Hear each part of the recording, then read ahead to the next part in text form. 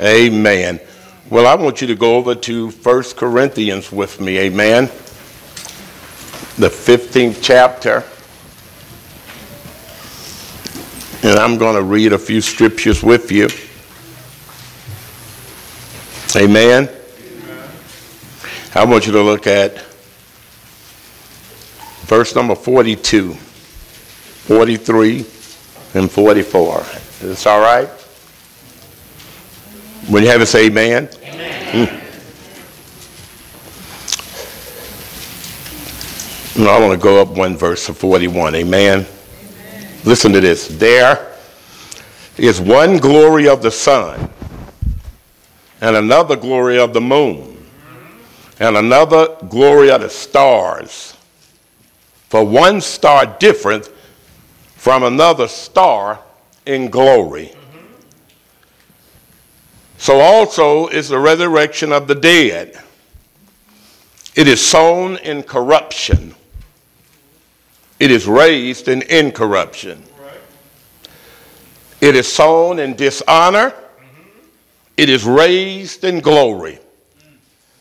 It is sown in weakness.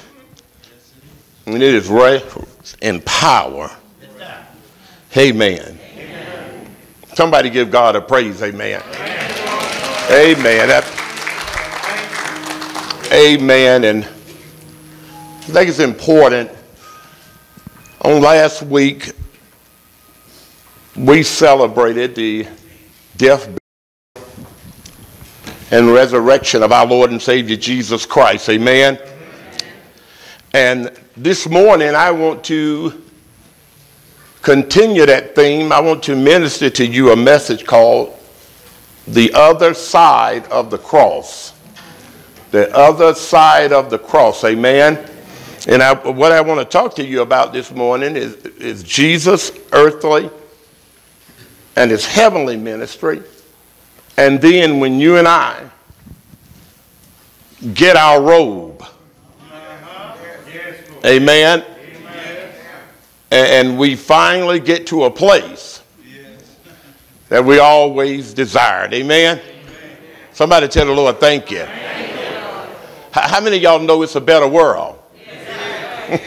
How many of y'all know God has some good things waiting on you? You just got to believe it. Amen? Well, let, let's say, talking about Jesus, God gave him two categories of ministry. He had an earthly ministry and he has a heavenly ministry. Amen. His earthly ministry, uh, his, his major role was to come and live a sinless life that he may die as a sacrifice for our sins. And the key to his ministry is the fact that he overcame death, which is your last enemy. Amen.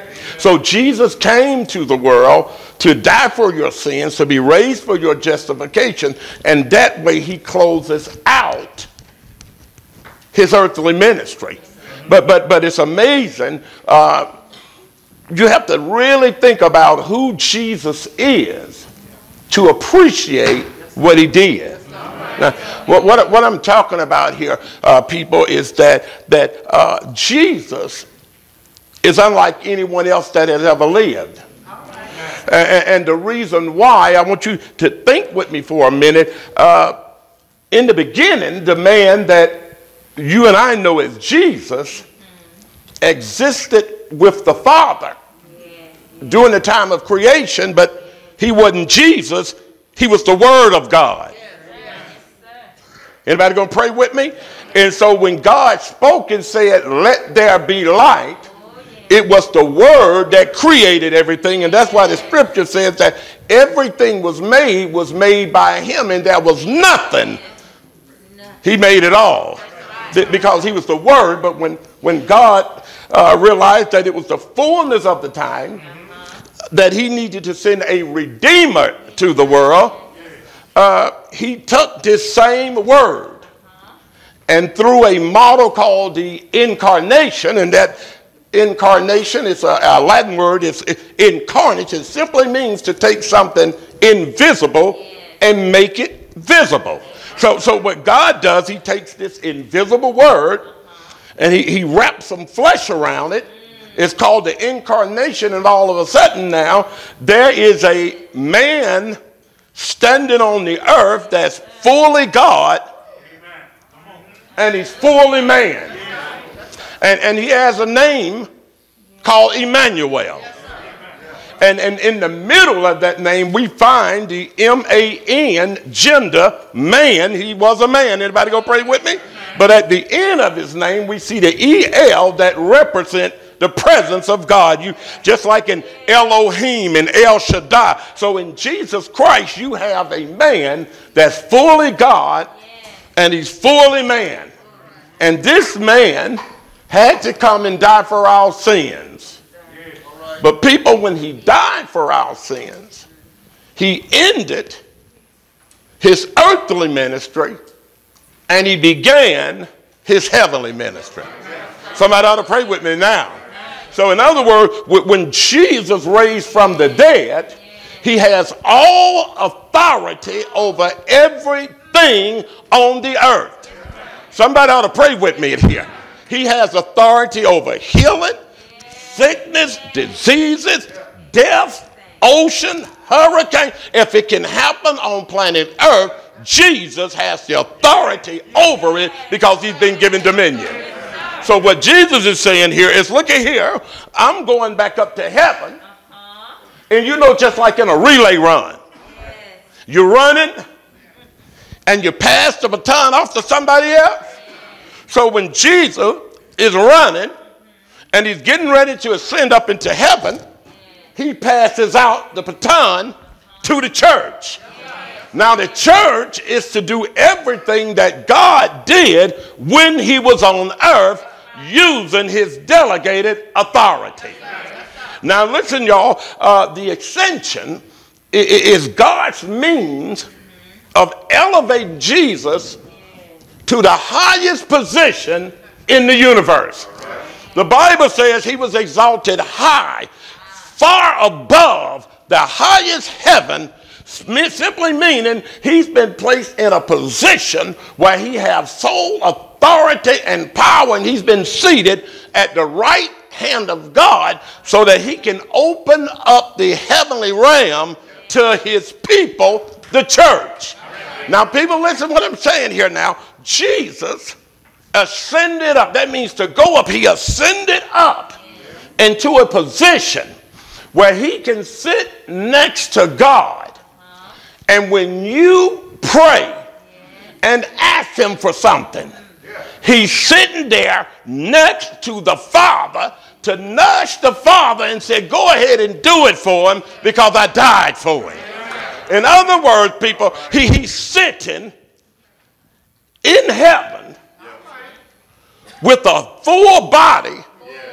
So think about this. When, when Jesus came to the earth, he left one dimension. But when he came back home, now think about this for a minute. So we, we, we're going to work this here for a second. Listen to this right here. Jesus, as the son of Mary, was born in a tiny village called Bethlehem. But as the Son of God, he was living before he was ever born. He existed with the Father from the beginning. Jesus, as the son of Mary, was birthed by his mother and reared by him. But as the son of God, Jesus created Mary and everybody else who was ever living because he's the Son of God. Now, as the Son of Mary, he was subject to the laws of the land and authority. But as the Son of God, he raised from the dead, saying, I have all power in my hand in the heaven, on the earth, and even below the earth. In other words, there's a big difference between Mary's child and the Son of God. So, so now look, when, when Jesus had fulfilled his mission, you and I need to understand the only way he go back to heaven is that he's met every criteria for God to save you and I to the uttermost. So now there is a man who's fully God sitting next to God with the body interceding on your behalf. Don't you ever tell anybody you all alone. Because you always have Jesus with you no matter what's going on. Don't ever tell anybody you're in a place of darkness where light won't break through. Jesus is still the light of the world, and you have the Holy Spirit. You just need to. That's all you need to do. Now, wait a minute. I, I need to watch this here. Now, now listen, y'all, and I'm gonna go back to my message here, but I want to share something with you. One thing about Jesus ascension that you need to know is sometimes you need to know when things get so troubled for you on this earth, when you can't find no peace on the job, you can't even get peace at home. You drive a car, you drive to work by yourself, and you still can't find peace. You, you find yourself talking to yourself about things you shouldn't even be talking about. You, you, you look out and you see a person and they ain't smiling, you think they mad at you. That, that may be the time for you to just extend up above your problems and, and, see what God is saying that's going on. See, and now, now let me let me share one more with you about this ascension. Sometimes a situation can get so bad for you and all you want to do is try to hold on to it and fix it. But what you don't understand, no matter what you have or what you could get, you can't do anything with this because this is not a problem mama can fix. This is not a problem daddy can fix. This ain't a problem that money can fix. This is not a problem that the pharmacist. Sometimes what you have to do is, is move your hands because you, you don't want to let it go and, and just let it uh, ascend up to God. In other words, sometimes just let it get out of your hand. Sometimes we trying to do so much and sometimes all God is telling us is to just let it go and let it come up to me. I, I, I can, I can fix it if you would just. See, I could fix this thing for you if you could just. I'm trying to tell y'all, like, I can fix this thing up for you. You need a miracle. I'm the only person that can do a miracle. You need somebody to break through you. I'm the God of the breakthrough. But you got to just let it. You need to realize it doesn't need to be in your hand. So if I can get it out of your hand, I can put it out there so you can see my power and your enemies just like heathens, and I will be glorified and praised in the earth on what's going on in your life. The problem is, I need you to let it go. Somebody said, just let it go. So just let it sin. But now listen here, y'all. Jesus' ascension is vital to our faith. And the reason why is this. On one side of the cross, he died. And the only thing that's stronger than death is resurrection. Because how many y'all know in order to have a resurrection, you need something dead? Now, if Jesus does not raise from the dead, somebody better pray with me in here. If Jesus raised from the dead, the farthest that you and I can go is to a cemetery. But, but, but, but since he raised from the dead, it means there's life beyond the grave. But notice what happened with Jesus. Jesus didn't stay, well, wait a minute, he stayed on the earth about 40 or 50 days so that he would make sure that thousands of people saw him and knew the reality of his resurrection. But then the time came when he was down in Bethany. And time came for him to go home. You ought to love this about Jesus. The Bible says he's standing there talking to them, blessing them with the word. And while he's talking, all of a sudden, not like a rocket. See, see, a rocket to take off, it causes a lot of energy, a lot of shaking and blowing and power being moved. Jesus said, That's not the way you really go up. Let me show you how you go up. You just simply lift your hands up. But now, first of all, before you go up, you got to know where you're going.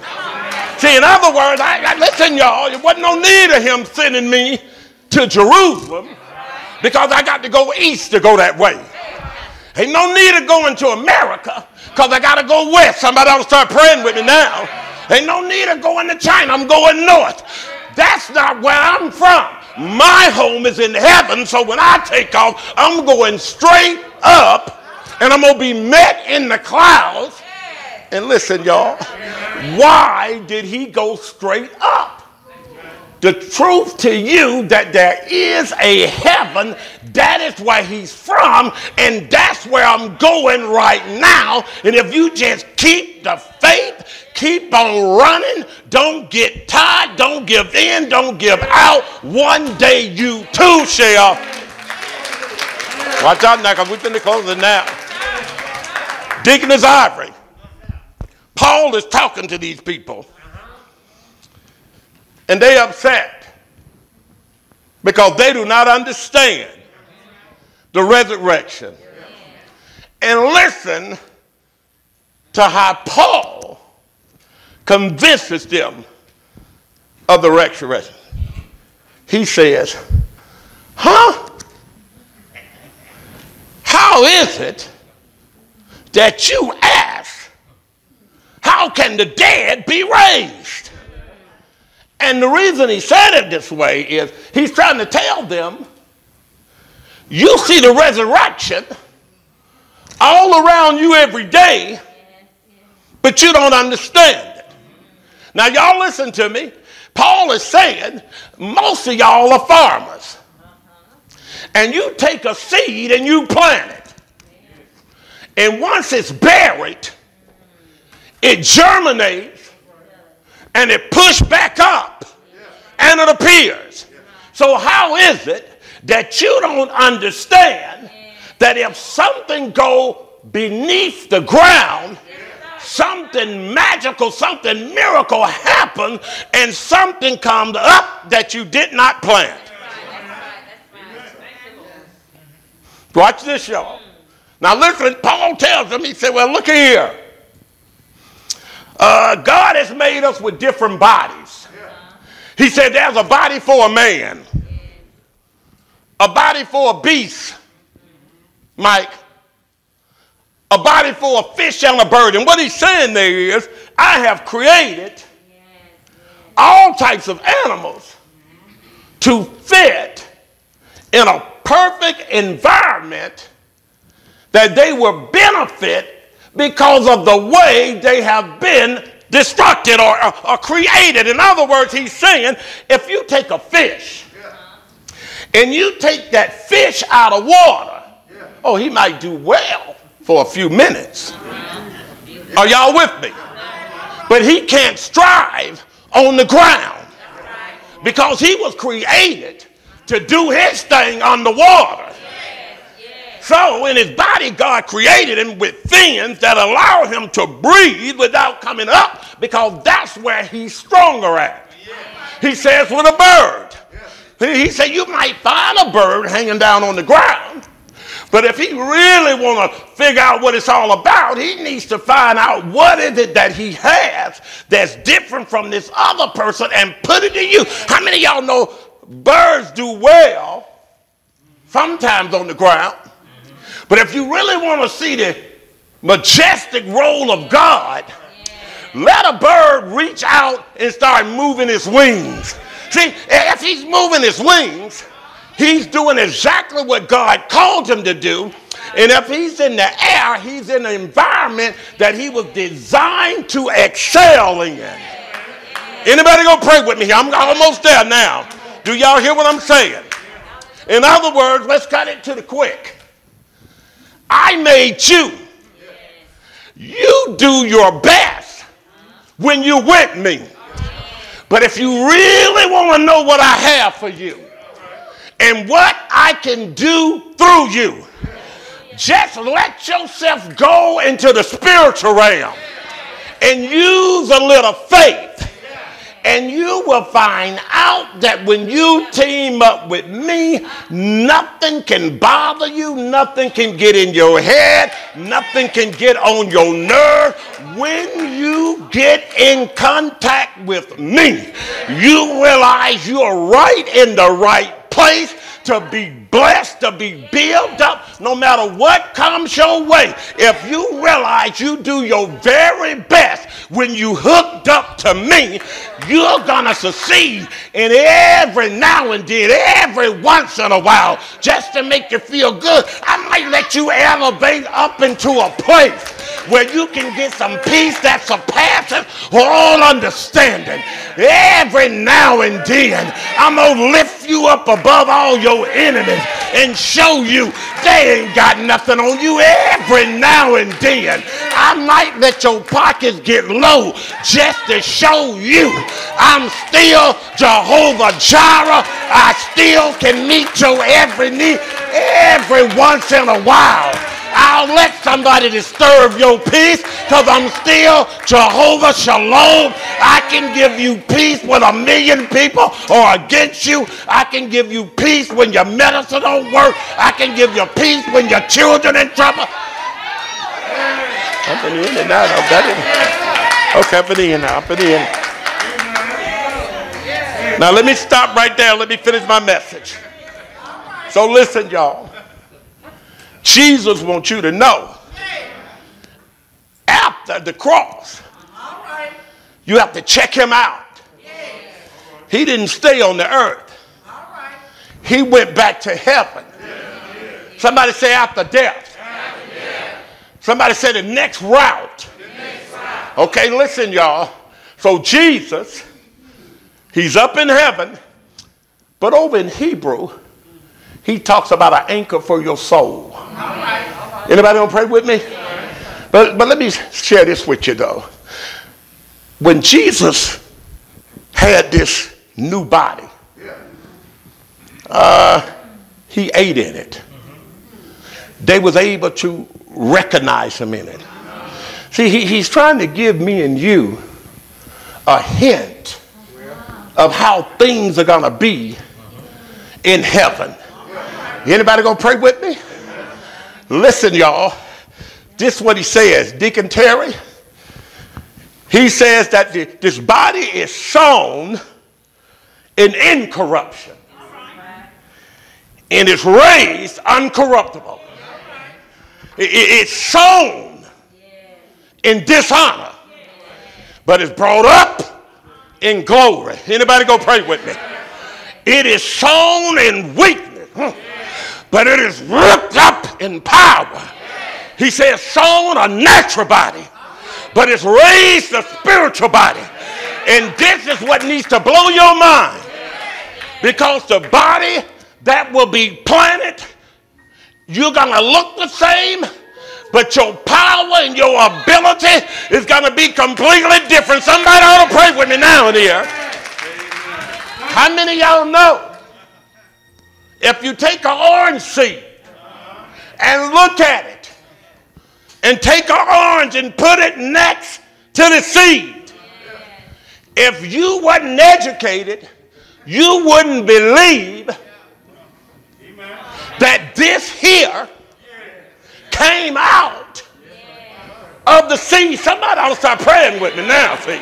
See, y'all still ain't got what I'm saying here. In other words, he said you going down one way but you're coming up another way. But didn't I tell you? There are some things that eyes have not seen, ears have not heard, that has not entered into the mind. God say, I got something. So now hold on, y'all. You, you, you, you, you plant a seed. The seed doesn't have any juice in it, but what it produces have juice in it. You plant a seed and you get an orange.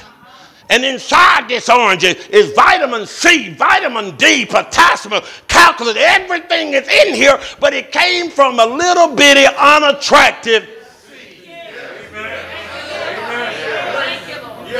Listen, a seed is able to produce a hull. You don't bury a hull, but you get a hull to protect the meat of the fruit. Y'all ought to start praying now. And then, if you go deep enough, you planted one seed. After you dissect this bad boy, you may find 9, 10, 11 seeds. Sometimes there's so many seeds you have to get one that's seedless. God say, I'm going to blow your mind with the world and with the body that I have waiting on you. Some of y'all think y'all living in a big house right now. God said you ain't going to believe what I have stored up for you. Now listen, y'all. The glory of an orange is its juice. The glory of man is the spirit of God. You got to learn to get into the spirit of God where you can be like God. You, y'all, y'all, y'all, let me tell y'all something. It, it ain't nothing like going to work and don't nobody like you but you're walking there with God. Because I done partaken of the good life.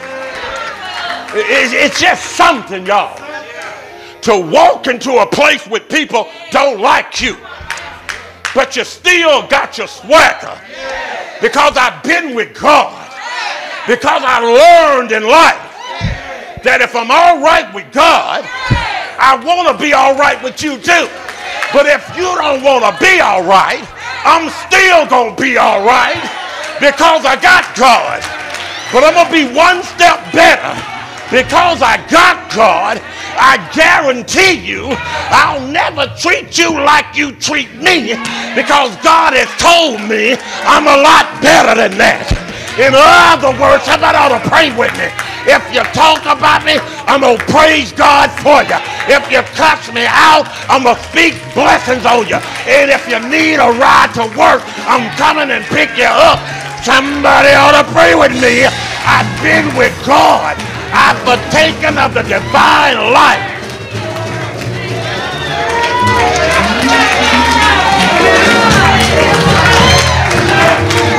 And why am I doing this?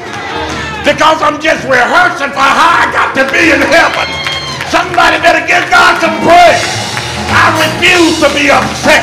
I refuse to be defeated. I refuse to hate you. I refuse.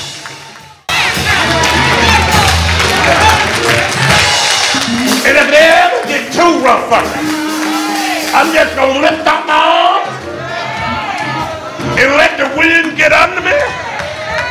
And I'm going to let God take me to a dimension where I can't see, I can't hear, I can't do nothing.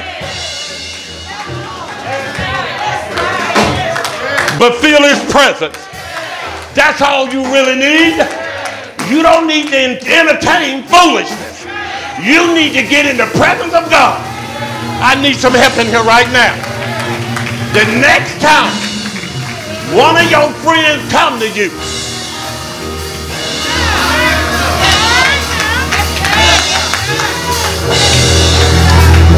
talking about what somebody said about you. Say, honey, I'm not like I used to be. I'm all about my father's business right now. You take that stuff there and go get you some prayer. Because there ain't nothing nobody can do with me. Because if God is with me, who in the world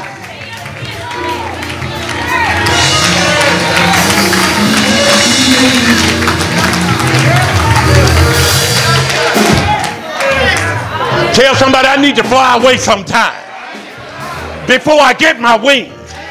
I need to fly away sometimes when things get heavy and things get hard. I need a God that can lift me up when I'm worn down with the weight of the world. I need a God that can make these wings move when they lock down in depression because you got a song in your heart that only you can sing. And when you can't get up, if you begin to praise God, He'll come down, get under you, and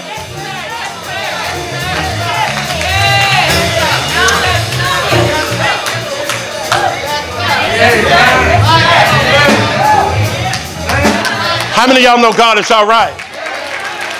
If you love him, give him a praise.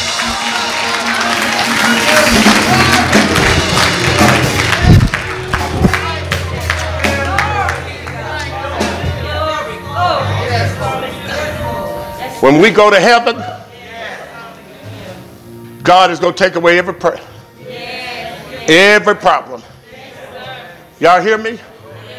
Things you and I can't even imagine. I'm going to throw this one at you, and I hope you can understand this. When you get to heaven, you won't even have to relieve yourself. I wish I had a praying church in here. See, I, I, I know you do. I, I know, I know, I know, I know.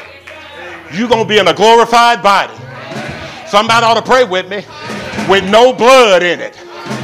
Let me tell y'all something. Y'all remember how Jesus went up? You're going to have the same type of body.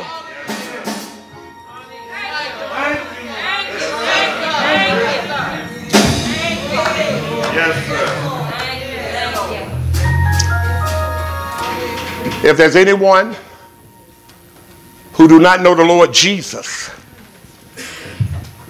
and the pardon of your sins, in other words, real simply, if you do not have a saving relationship with Jesus Christ, I want to afford you that opportunity because Jesus wants to be your friend. Amen. If you're not saved,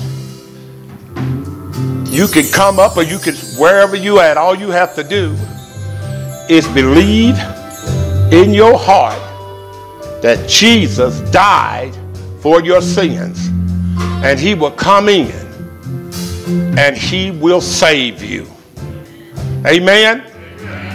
If there's anyone who would like to be a church member here at Canaan, we're going to open up the doors of our church. If you would like to be a member here at Canaan. Where's go golden at? You in the back? Okay. I'll get him.